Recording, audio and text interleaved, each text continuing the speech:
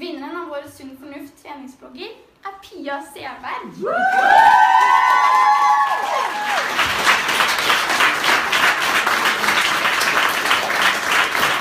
Den henger ganske høyt. Det er gøy å se at selv om man kanskje ikke kler av seg da, for å fronte trening, eh, så kan man allikevel nå fram til folk og vise at eh, det man gjør er både riktig og viktig.